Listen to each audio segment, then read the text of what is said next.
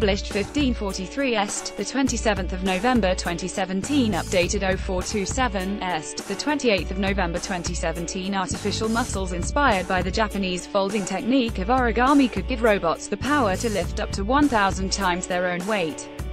US researchers have crafted a cheap new material that will let the machines carry out smoother, less rigid, and more human-like movements. The advance offers a leap forward in the field of soft robotics, which are fast replacing older generations of automatons.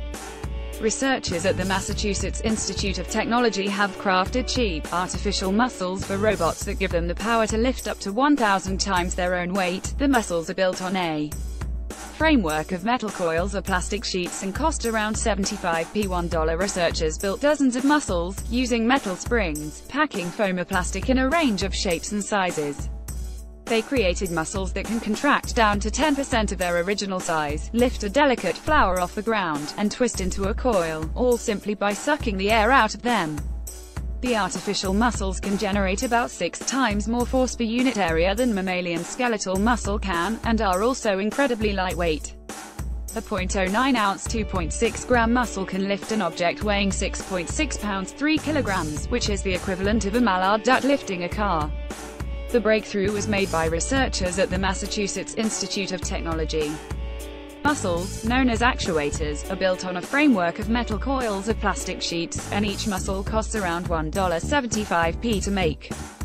Their origami inspiration derives from a zigzag structure that some of the muscles use, allowing them to contract and expand as commanded, using vacuum-powered air or water pressure.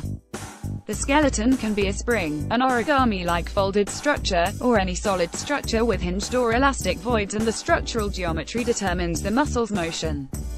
It's like giving these robots superpowers, said senior author Daniela Rus, professor of electrical engineering and computer science at the Massachusetts Institute of Technology. Possible uses include expandable space habitats on Mars, miniature surgical devices, wearable robotic exoskeletons, deep-sea exploration devices or even transformable architecture. Artificial muscle-like actuators are one of the most important grand challenges in all of engineering, said co-author Rob Wood, professor of engineering and applied sciences at Harvard University. Now that we have created actuators with properties similar to natural muscle, we can imagine building almost any robot for almost any task. Researchers built dozens of muscles, using metal springs, packing foam or plastic in a range of shapes and sizes.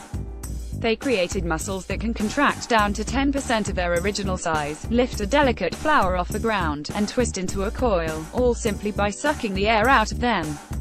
Their origami inspiration derives from a zigzag structure that some of the muscles employ, allowing them to contract and expand as commanded, using vacuum-powered air or water pressure. The skeleton's structural geometry determines the muscle's motion the muscles that can contract down to 10% of their original size, lift a delicate flower off the ground, and twist into a coil, all simply by sucking the air out of them.